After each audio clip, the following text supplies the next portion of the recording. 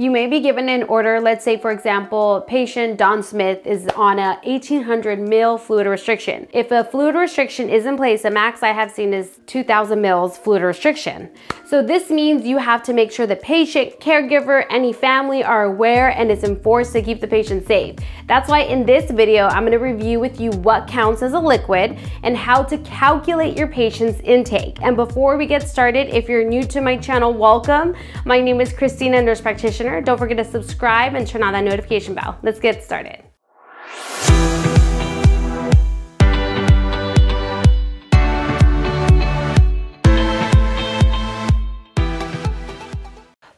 Restrictions are used in the setting but not limited to patients with congestive heart failure. Some patients will be readmitted to the hospital because of lack of education, lack of compliance with their medication management, or just too much fluid intake, or they just don't know how to manage their new lifestyle modifications. But over time, nurses have leveled up and educated their patients with congestive heart failure on diet, medication, and weight management. So let's talk about what counts as a fluid and about how many does it contain? So I'm gonna share common servings typically served in a hospital setting. So for example, patients um, permitted to have a cup of coffee most likely wouldn't be um, on the telemetry floor, but assuming they can consume the full serving, it would measure about 240 mils for a cup of coffee. So let's assume the patient consumed 100% of each item. So it would consist of ice cream, which is about 118 mils. A full cup of ice is about 120 mils. Sherbet is about 118 mils.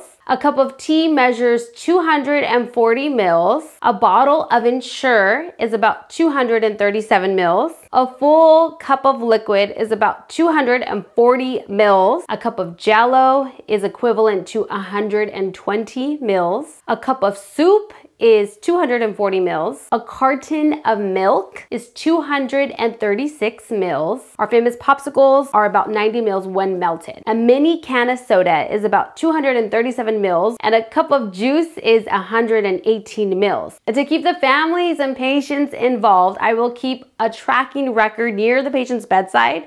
That way they can chart what they consumed and feel accountable as it is updated throughout the shift by either the RN or the care partner or the patient or family so everyone is accountable. I will also have a sign near patient that they are on a fluid restriction to call the nurse if any questions regarding um, volunteers or chaplains that stop by and your patient will most likely ask if they could have an extra cup of ice so it's very nice for them to resort back to the nurse so that's why I have a sign up. Um, the cafeterias are pretty good about sending patients with a printout of what each item contains such as food, liquid, and how many mils so you know what to document document appropriately. So let's dive into an example. So Mr. Smith for lunch, he had about half of his Ensure so total amount is about 237 mils. Um, so half of that is about 118.5 mils. And a bowl of soup that was about 100% of it, which means it was 240 mils with a roll of bread and a cup of fruit. So this means Mr. Smith consumed about 358 0.5 mils for lunch and for breakfast he just had a cup of coffee which is about 240 mils so 358 0.5 plus 240 mils equals 598.5 mils. And he is on an 1800 mil fluid restriction, so that means he has 1201.5 mils remaining and he just used his call bell and asked the tech if he could have a cup of ice. So the tech calls me and asks me if he can have a cup of ice. What do you say, boss? Yay or nay? The answer is yes.